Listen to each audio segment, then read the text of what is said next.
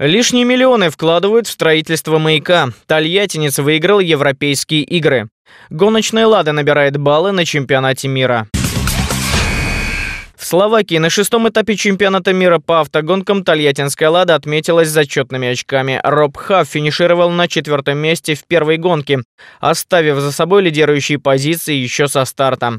Во втором Аяп Ван Лаген приехал шестым, хотя начинал с полпозиции. Это стало уже вторым первым стартом для «Лады» в этом сезоне. Однако удержать лидерство Лаген не сумел, его умело обогнал действующий чемпион мира на «Ситроене» Хосе Лопес и его команда Иван Мюллер и Себастьян Себастьян Леп. Впереди еще два Евротура во Франции и в Португалии. На первых европейских играх в Баку тольяттинский спортсмен выиграл золотую медаль. Заслуженный мастер спорта, призер чемпионата мира Михаил Мельник стал лучшим в прыжках на батуте. Помог ему это сделать коллега по сборной Дмитрий Ушаков из Краснодара в синхронных прыжках.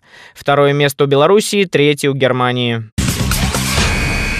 Счетная палата зафиксировала нарушение при строительстве спорткомплекса «Маяк» в Самаре. Объект возводят фирмы-невидимки, из-за чего стоимость строительства только крыши превысила стандартные расчеты на 2 с лишним миллиона рублей. «Маяк» аналогичен спортивной арене в Нижнем Новгороде, но там его оценили на 53 миллиона дешевле самарского катка.